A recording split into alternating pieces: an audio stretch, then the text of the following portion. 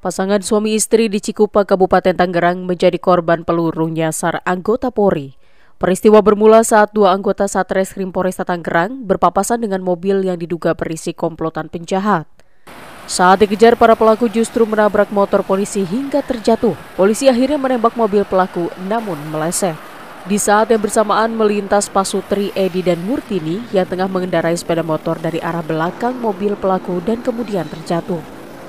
Petugas kemudian bergegas membawa Pak Sutri ke rumah sakit untuk mendapatkan pertolongan.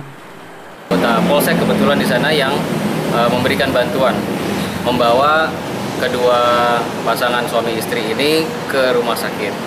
Kemudian setelah mendapatkan pengobatan, barulah kita lakukan penyelidikan dan diketahui bahwa uh, korban ini uh, mengalami luka serempet uh, proyektil akibat rekoset dari tembakan yang dikeluarkan oleh petugas. Pasangan Edi dan Murtini kondisinya membaik. Pihak rumah sakit juga telah melakukan operasi untuk membersihkan luka dan memeriksa apakah terdapat serpihan pada korban. Korban bernama Edi menderita luka pada dada kiri. Sementara sang istri Murtini yang menderita luka pada lengan kiri, kondisinya juga sudah membaik.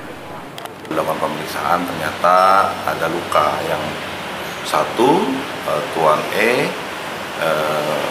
luka di dada, kemudian nyonya M itu ada luka di lengan. Eh, kemarin langsung dilakukan pemeriksaan, penanganan, nyonya M setelah 4 jam observasi boleh pulang. Kondisinya sangat baik.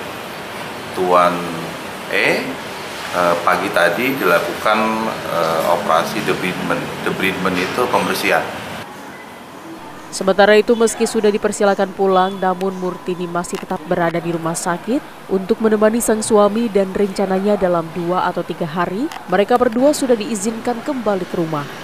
Ariel Maranus dan Syabudin Natar melaporkan dari Kabupaten Tangerang.